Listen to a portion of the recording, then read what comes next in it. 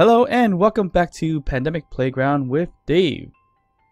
So we last left off with upgrading the space station between Mars and Europa, but of course we're running out of platinum to refine to make our shields. So unfortunately we have to go back to Mars, get that platinum, and refine a ton more platinum so we could get our shield started for our main ship, our fighter ship, and even some space stations.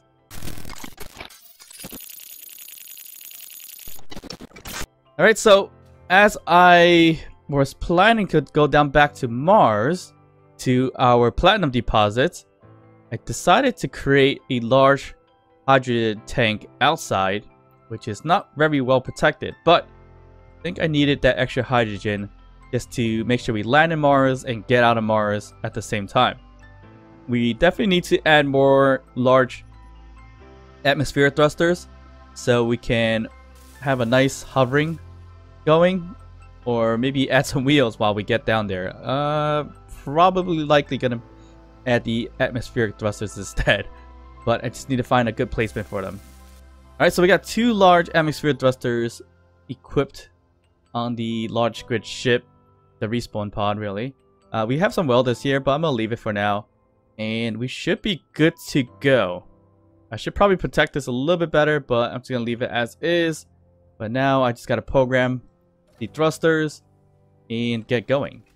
Alright, so everything is all set. Just had to make some last minute changes and check on my systems. So it is now time to go and head back into Mars. And I'm checking my GPS and I don't think I saved where I found platinum the first time, which is a bit of an issue, but that's okay. We're gonna have to find it some other way. So I'm thinking of landing near the ice over there because I am actually out of ice myself and there should be a nice flat area right next to it as well. So we will definitely try our best to get to that point there. Another thing to check is actually my parachute hatch. I did queue up like 50 diff um, canvases just in case but we need to make sure it's on auto deploy. Yes, it is. It's on auto deploy, so it should help us from crash landing. So let's just not do too little, but maybe a thousand meters, which is about one kilometer away. And that should do it. So again, we should have a ton of hydrogen because of the two large hydrogen tanks that I have now plus the small ones that all in the front. So this is gonna probably last us for quite some time, hopefully. But pretty much we're just gonna cruise now for the long run.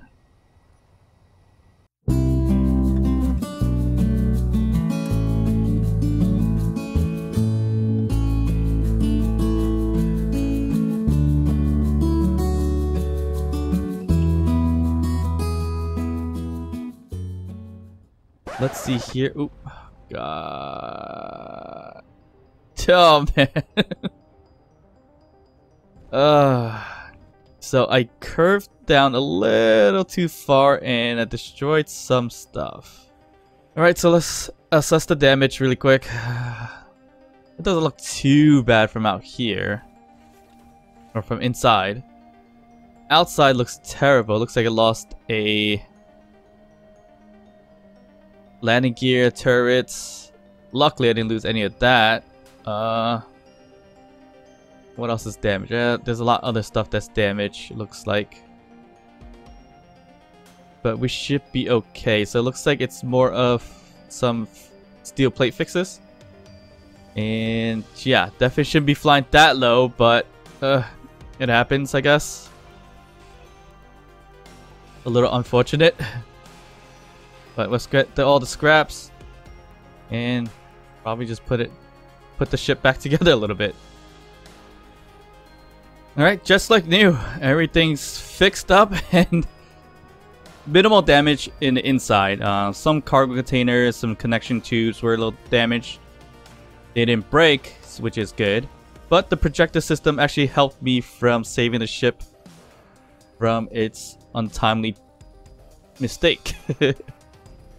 will save me from having to figure out what was there and what wasn't there and things like that. So uh, it is what it is. So let's get going. Alright, so I think we lost a lot of hydrogen either because we broke some hydrogen tanks. I don't think we did. No, we didn't. I think it's mainly from just floating around like this the whole time. And it really reduced our hydrogen by a lot. So let's not do that again and let's fly a little higher than when we should be. And then we should also hope that this thinking weather changes a little bit because I can't see a thing. Um, but hopefully I don't run out of ice. So once I run out of ice, that's going to be a problem because I'm going to have to find ice just to get back into space. Which shouldn't be an issue because I think we landed close to an ice uh, place. And there should be a ton out there somewhere. So I am having a really hard time seeing with this weather, so I'm gonna have to wait for it to kind of pass by and then really uh, get that changed. Alright, so because I'm wasting a lot of ice this way, or hydrogen this way, I'm gonna have to find the platinum on foot as the optimal way of doing this. Um, so let's update my drill. Maybe I'll make a drill number three. And we're just gonna have to fly around and really look for the platinum because this is really killing my hydrogen by a lot. Alright, so it looks like I found some platinum right here. And it's... It, eh, we didn't look too far, actually. I did a quite bit of a circle. And of course, the nearest spot next to my ship, it was exactly where the platinum is, as always, but that's fine. But at least we have a good spot for it so we can create our drilling platform. Alright, so let's grab our ship and hop on over to the platinum area. We're not going to get too close because I'm going to have to build the drilling rig there and mine some platinum. So let's get as close as we can, but hopefully not waste too much our ice. So apparently, four large thrusters, atmospheric thrusters, and 10 small atmospheric thrusters, it's not even enough to get us above ground without really falling. And you know what? It might be. It actually might be because I don't have enough power, so not enough batteries. So let's just make a few more batteries so that we can start moving around a little bit better with the atmosphere thrusters. So that's going to save us on a lot of ice usage. Although we're probably going to still have to use it here and there. Alright, so I added two more batteries onto the ship. And it's holding well, so I don't have to use my ice, eh, it might not ice, the hydrogen at least, to kind of float around. Which is ideal. So I think that's going to work perfect. So let's head over to our platinum deposit that we found. And we're probably going to try to glide with our ion thrusters, which is probably not going to pull us anywhere. No, I'm actually falling kind of backwards like that. So we're going to have to turn on the ice just a little bit. Or hydrogen thrusters, just a little bit, just to get us moving. And then we just turn it off. And we'll probably turn it back on once we get close. So that way we can just stop ourselves from that way. But at least we can float. That's the ideal, at least. And we're getting kind of close to it. About 600. Let's get kind of close because I need to start grabbing stuff from this ship also to start making this drilling rig that I had had installed or had had a plan for. Alright, so we're almost there. Let's stop it right around here. Perfect. And it looks like we're pretty much on top of more platinum as well. So it should be okay. Alright, so we landed. Turn that off. Let's just turn everything off. Save some batteries. Make sure our turrets are on to protect ourselves. And they are. And we're good to go. So now it's time to build out this drilling rig that I had in mind. So we can travel around Mars. Take as much things as possible and then probably never come back, or if I did have to come back, at least I have a drilling rig to help me with the uh, collection of stuff. So let's get that started right now.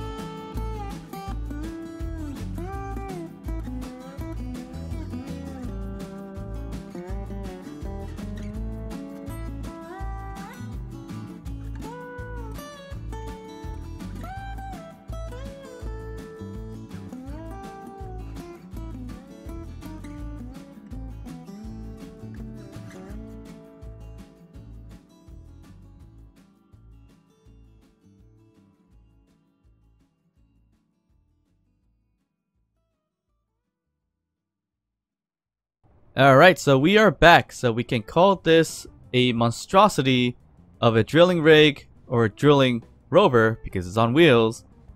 And it is doing its job with its digging and mining for stone and potentially platinum.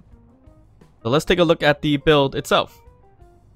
Alright, so the build consists of the idea and the main idea was this pincer or circle so that the drilling can be targeted easily and have the drilling portion of it, you know, kind of go through it in a circle, supposedly. I wanted to make it a little more compact with the pistons and everything like that, so it turned out to be almost looking like a scorpion. So it's close to a scorpion look. As I said in previous episodes, I tend to have a quick idea, start building as I go, and it always turns out to be almost like an insect or some animal or something similar to that. I don't know why, it just does that. Maybe that's what's in my mind, who knows. Um, but yeah, this build took quite some time, but hope you guys did enjoy the time lapse of the entire build. Alright, so right now it is drilling and I'm looking for platinum, some more platinum actually. And I did change the drill a little bit based on what you saw in the time lapse. But before we get through that, this is basically a large grid rover build with 5x5 wheels and total of 6 wheels, 3 on both sides. Initially there was one here as well and there was none in the back which caused a bit of an issue because the rover decided to do a wheelie while it's digging. I'm not sure exactly why. Maybe it's too heavy with the three large cargoes being completely filled with stone. That might be it. I'm not sure, but it made a wheelie and I decided to make the wheels more towards the back. Uh, we did leave these two wheels on the sides here for a little bit, but it didn't really do too much, so I decided to just remove them. So we did, technically didn't need it at all.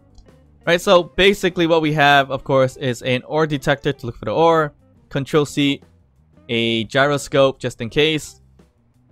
We have five large cargo containers, Four baddies on each side, total of eight. and two refineries. So the refineries are both holding one speed mod for now, so that it can quickly, quickly refine stone to get iron, nickel, silicone, and gravel. And of course, you'll see these things here that I don't normally use too much of, but it's the conveyor sorters. So these are sorting just the stone as this one here and, and the other side to grab in the large cargo containers so that it will transfer only stone into the refinery because I don't want the platinum to be refined through these refineries because my ship has the yield mods which I prefer to use those instead. So once it's finished with that, with that, it can transfer out everything else to large containers that way. So it's a bit of a system, not too crazy of a system, but it kind of works for now. And some solar panels just for energy. If you, in the time lapse, you saw some turbines which were working because the rover initially was considered a station because it was connected to the ground. But once I took those things off, the turbines no longer worked, so I removed them and put the solar panels here instead. And of course, the drilling rig itself, it is now connected with three hinge blocks just to add some more security to it uh, so that it folds from a 0 to a 90 degree easily without any issues. And it is extended by two pistons going up three pistons going horizontally, and about five pistons going downwards. And I was using a different type of drill system earlier with the when you saw in the time lapse and it was the combination of a rotor and hinge block drilling system that I did in one of my experiments which worked out okay but it was a little too slow for my taste because I haven't really fine-tuned the timing for everything so I went back to my original swinging left and right or up and down um, hinge block style for now. Eventually, I'll probably change that out. To probably do something a little faster because um, this is a rover drilling machine, so we probably want to have something quicker than slower, to be honest. Because if you want too slow, uh, it, it's not going to work out because you want to drive around, find that ore, drill down, and just obtain what we can quickly as possible and move on from there. But if it was a rig itself, that's stationary, that's gonna collect a lot of material, then yeah, I, would, I wouldn't mind it being slow. But since it's a rover, it's a bit slow. The only thing I didn't add that I probably should do is put a piston somewhere on this rover with the landing gear so that when we're ready to dig, we can lock in so that we don't see that wheelie or this whole, as you see here, everything's just like bumping around everywhere. It's going a little crazy, but with the landing gear locked in, it would help and prevent it from actually doing that wheelie. But it can also cause other issues, but it probably would be better to actually install that. But I don't have it now because uh, I didn't think of making it just yet, but and I couldn't find a good spot for it, so I'll probably do it a little bit later. It looks like we found some platinum, but we can barely scratch the surface of it, so we need to put, probably put down the pistons in the back. But before we do that, let's show you the system itself. Alright, so the system here is built on the main thing in the back is the hinge that sways 0 to 90 degrees and then extensions of the pistons going up, going forward, and going down. So when you put it together, it looks pretty cool um, in terms of retracting it and extending it. So right now I'm gonna retract it uh, as quickly as possible.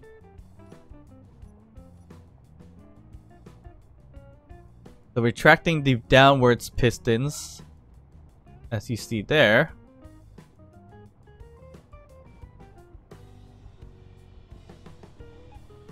And I think we're completely filled with stone, so that's why it's not retracting all the way, but it's okay. Alright, so I had to move some things around because the drills had too much stuff in it, so it was too heavy. So I was able to retract the drills pistons going downwards, up, back up. So now let's go back to our settings and we're going to retract the hinge in the back to be 0 degrees. So flip over that way. And then at the very same time, we can retract the horizontal pistons on the very top so that it can close up a little bit.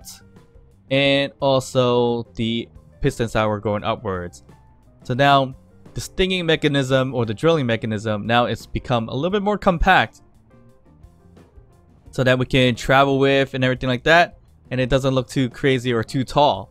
So the system moves and drives fairly well. So if we move, we could drive, it's very slow because it probably needs more wheels or maybe some thruster power just to get it going. But as you see here, we can move it left and right. It's quite slow, but if you look at the bottom right, you'll see how heavy of a load this thing is carrying. So that's more than likely why it is super, super slow to move this big guy, uh, Scorpion Rover drilling machine. So that's what it looks like when you have everything compact and it's not terrible. It could probably be a little bit more compact and lower if we wanted to, but based on the length of it, we had to make it that tall. And it, and it looks decent. Um, when you have the hinge off here, it just dangles the drilling system a little bit for some reason, but it's alright. But now everything is secured. I put some little bumpers here so it can land there perfectly fine with no issues.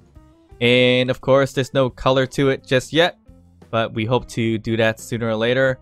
And if it's going to be a scorpion looking like thing, or maybe even a dung beetle looking like thing, it's likely going to be a dark color. Let's extend it again and pretty much see how that looks like. So first, we're going to extend the back, or it's the upwards pistons, and then we're going to extend the horizontal pistons with the hinge now moving on a 9 degrees upwards angle. And then we can have a nice little turn or so where it's to hit exactly towards the middle of my pincer or circled area, which is actually my targeting system to find ores and things like that. So now I found platinum down there. We can actually get to it. So even with five pistons, the platinum is pretty deep. So this platinum is about 45 meters deep. Five pistons in a drill system like this. Barely scratch the surface for the platinum. But that's okay, because we have the rear upwards pistons, which we can drop down. So for an example, we'll drop this down after digging such a big hole. Then we could redo and drop down these downward pistons so we can gather the pretty much the rest of the platinum. So I'm going to do that a little bit off camera, just grab as much as I can. And then we're going to have to find a way to transfer all this platinum, all the stone that it's gathering and creating iron, gravel, nickel, and silicone back into my ship somehow. And I'm thinking of some kind of collector system that I can drive around to transport into the ship. We'll see how that goes in maybe the next episode. Alright, so once again, thank you guys very much for watching. I hope you guys did enjoy this episode and the build of this massive rover drilling machine. And of course, you can show us your support by hitting that thumbs up, by liking the video, subscribe to the channel, hit that notification bell, and of course, leave us some comments. And as always, I'll see you guys next time. Bye.